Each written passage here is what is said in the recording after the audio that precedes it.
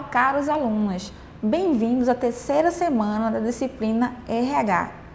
Hoje nós vamos conhecer sobre programas de recrutamento, seleção e retenção de pessoas. Você já viu nessa mesma disciplina que existem vários subsistemas de RH e recrutamento e seleção, ou RS, é um deles. Só que recrutamento e seleção, apesar de andarem juntos, são coisas diferentes. Recrutamento é o processo de atrair candidatos para uma vaga. E seleção é o ato de selecionar, como o próprio nome diz, de escolher o melhor candidato para aquele cargo dentre aqueles atraídos no recrutamento. Então, eles não são a mesma coisa, mas eles se complementam. E isso é importante você conhecer para que a gente fale muito mais sobre esses temas nessa semana. Recrutamento e seleção como você já viu no seu caderno, é muito importante para trazer as pessoas certas para dentro da empresa. No recrutamento, o recrutador, sendo ele uma empresa, sendo ele alguém contratado, ele pode escolher fontes de recrutamento para facilitar o processo dele. E essas fontes de recrutamento são as possibilidades que podem ser exploradas para trazer pessoas para dentro da empresa.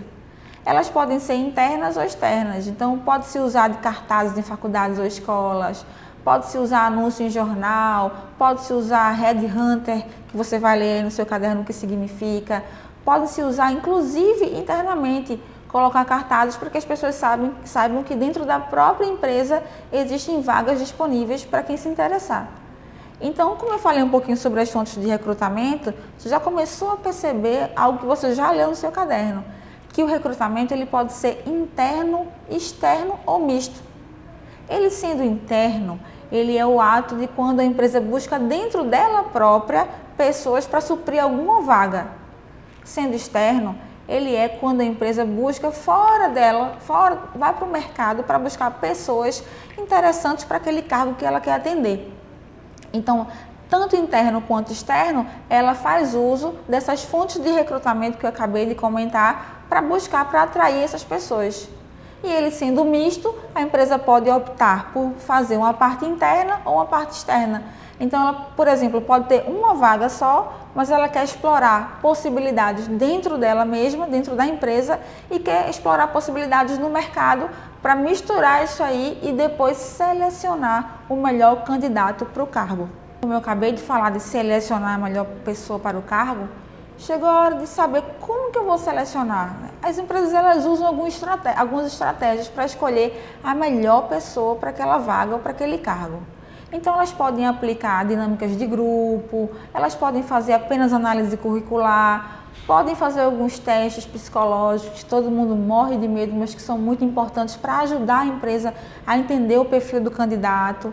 Ela pode pesquisar referências, ela pode fazer contratar alguma empresa para fazer um estudo técnico sobre aqueles perfis para aquelas vagas.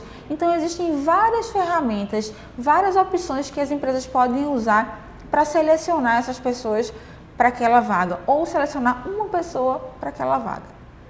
E uma vez que essa pessoa está dentro da empresa, que ela foi selecionada e foi contratada, um novo desafio da empresa é reter essas pessoas retenção de pessoas é manter aquelas pessoas que foram contratadas dentro da empresa, porque não é bom para a empresa ter uma rotatividade muito alta.